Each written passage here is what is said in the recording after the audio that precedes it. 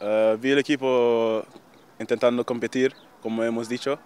Uh, antes del partido el mister quería que competimos, como sé eso es un partido muy importante y lo hemos afrontado así. Sí, no estábamos jugando mal, claro, es el principio de pretemporada, vamos a, todavía no, no somos al nivel que tenemos que estar para la liga, donde hay muchas cosas para mejorar como he visto, pero no hemos ¿sabes? No hemos parado, hemos seguido, seguido peleando como el mister quería. Has escuchado mucho el mister ahí gritando, gritando que seguimos y al final eso empuja a crear oportunidades y sí, hasta 90 minutos estábamos ahí y eso nos da oportunidad para ganar. Y yo voy a jugar donde sea que el mister dice, voy a dar mi máximo y donde sea, ¿sabes? Me da igual.